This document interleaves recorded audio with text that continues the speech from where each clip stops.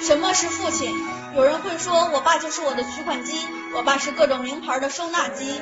还有人说我讨厌我的父亲，他没有我的母亲温柔。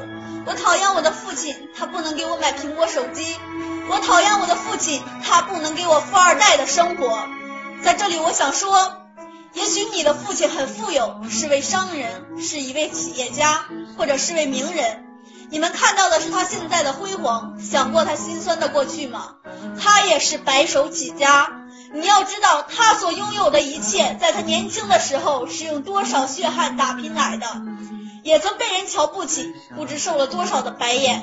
你要时刻记住，那是你父亲有钱，而不是你有钱。说好听的是你父亲宠你，说难听点，你不就是啃老吗？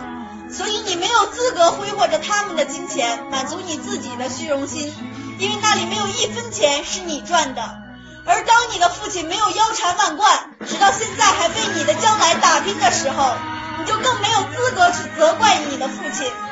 当你在学校和同学攀比着各种名牌衣服、鞋的时候，想过自己的父亲在家面朝黄土背朝天的干着农活，在老板的怒视声下，还要笑脸迎合着给别人打。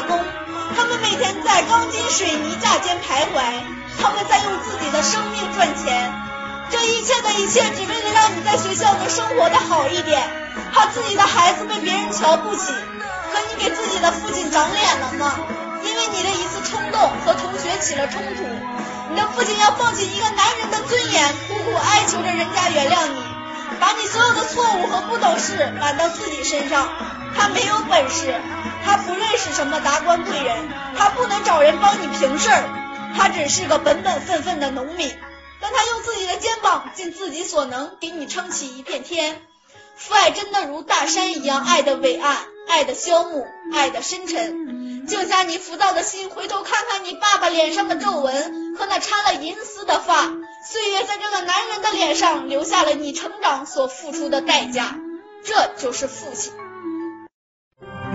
奥区全网实拍视频群社区，点击搜索，再点击公众号，搜索 UFF 四九九，UFF 四九九，关注后免费进群。